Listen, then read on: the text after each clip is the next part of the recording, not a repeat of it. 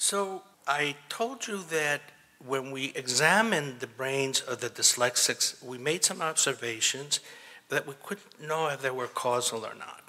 In order to know that something is causal, you have to create a model, and you have to fiddle with a model and see what kind of an effect you have. So if we believe that the uh, neuronal migration difficulties that we saw in those dyslexic brains are causal, we, we, would, we would like to take a, a brain, introduce these, and see what we get.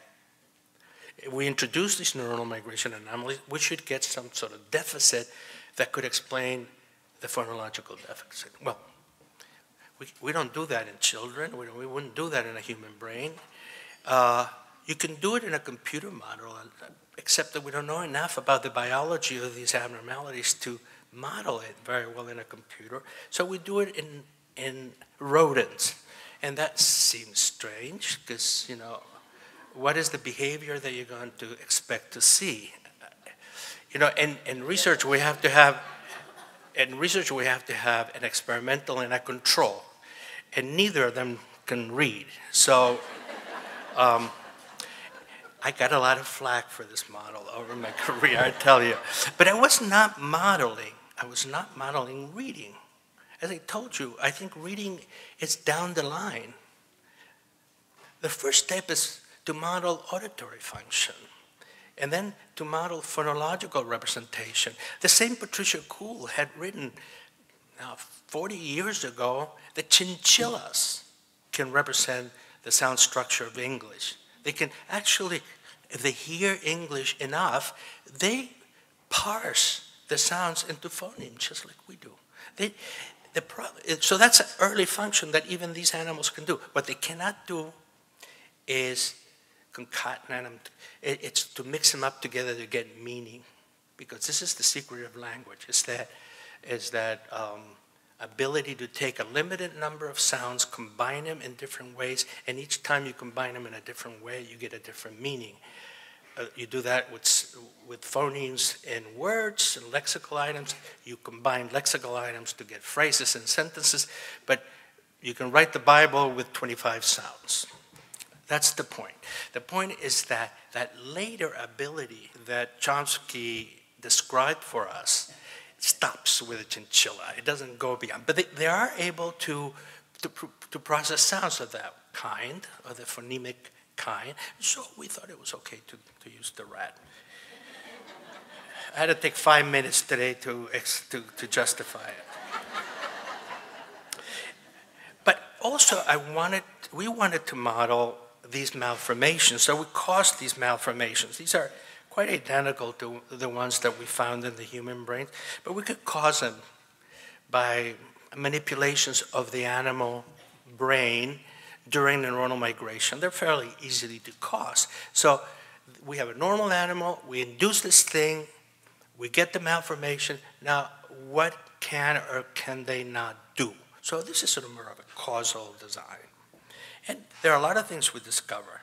We discover that if we put a little malformation in the, cort in the cortex that looks quite dyslexic, you change the thalamus. Now, you hear words like this during my talk. The important thing to, to know about the thalamus is it's at a relatively early stage of sound processing. It's before it gets to the cortex. So this, this brain, the very, very young brain, these are newborn rats, are, eh, eh, are very plastic. You do something in one place, it quickly spreads to other places. It's got these network properties that move very, very fast. It's plasticity. We call it plasticity. And not all plasticity is good. I will show you that this plasticity is actually bad. Okay? That you induce this in the cortex, you get secondary changes in the thalamus, and you see problems with sound processing. Um, here's, for example, we're giving two, uh, two sounds to an animal separated by a gap, when the animal does not have a malformation, you, you register the first sound electrically, and then you, depending on the uh, width of the, of, the, of the gap, you begin to see this representation of the second sound too. If the, if the gap is too narrow, the animal is not, not able to capture the second one. But assuming a gap of 36 milliseconds, eh, the animal is already able to pick up the second sound. The dyslexic rat, it's not able to do it. And you can see here that it gets the first one, but it doesn't get the second one, meaning that you slow down the system. It takes more time to get back in shape so that it can hear the second sound. Now, you've heard before that there's, a, there's uh, in part, dyslexic children have problems with certain phoneme combinations that occur very, very fast.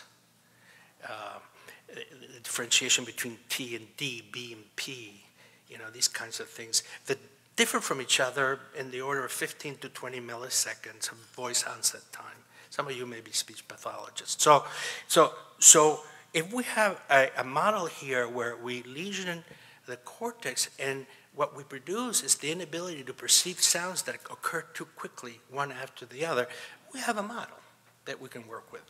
We also show here that uh, this is a map of the auditory cortex and the tonotopic representation, different tones are represented by different colors. And by introducing this little tiny malformation, we really degrade the map. It becomes a much poorer map. And we also change connectivity between different parts of the brain. We actually do lots of things from introducing just a tiny little thing. If you did that in a, an adult, we did it in adult rats, nothing happens like that. It's only because very young, the animal is very plastic and reorganizes broadly from something very focal like this.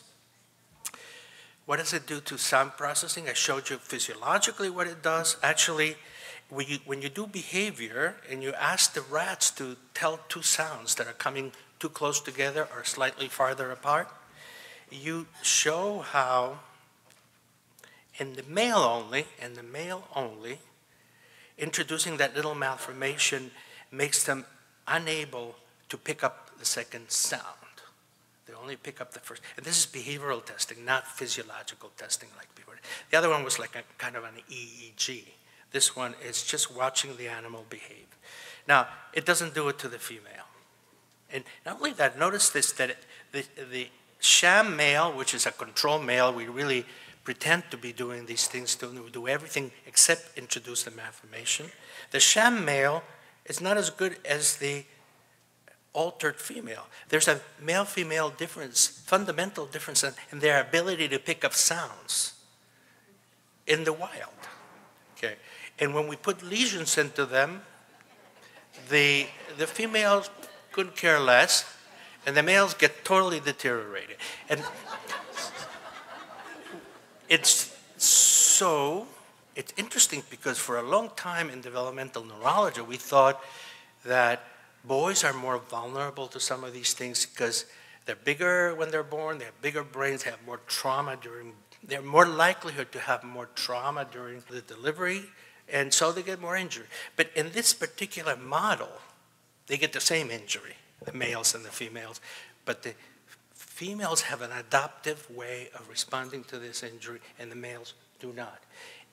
not only that, we also know, and it's evil, that if we give testosterone to the females at that time and mimic some of the hormonal milieu of the male, we make them like males. They're also uh, altered in their ability to uh, process these rapidly changing sounds, meaning that, at least in part, this male-female differences is being mediated by the male sex hormone. Male sex hormones, we know, are bad, and they're bad throughout life. but as the French said, vive la différence. so this is a, a demonstration of a male-female difference in vulnerability. We could not have learned this without having this model we cannot necessarily extrapolate this to humans. I think there's more overlap in males and females and humans than there are in rats. We do have girl dyslexics, you know. We didn't have any girl rat dyslexics. So there is a difference. But I think it's still informative.